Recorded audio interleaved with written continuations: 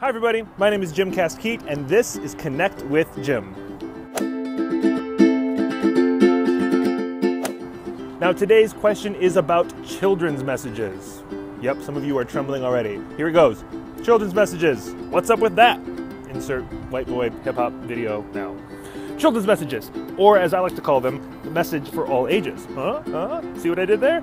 Now, I think they're wonderful. I lead them on a semi regular occasion at my church, and they're a lot of fun because I think really you have a whole congregation eavesdropping on you. You have permission to do some things methodologically that you can't always get away with when you are, quote, preaching to the adults.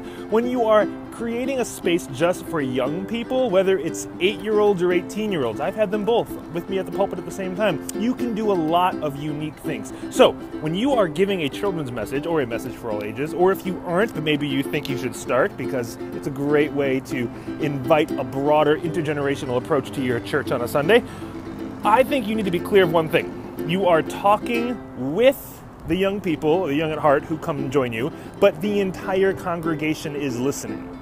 So make sure you talk to these people, talk with them, invite their voice, and direct your voice to them appropriately. But know that you have a larger context eavesdropping on you. So take advantage of that. Say things and do things knowing that the whole room is listening. Versus a sermon, which is kind of the other way around. You are talking to the large room and maybe have some young kids eavesdropping, which if we actually took that to heart, we might actually change the way we do some preaching.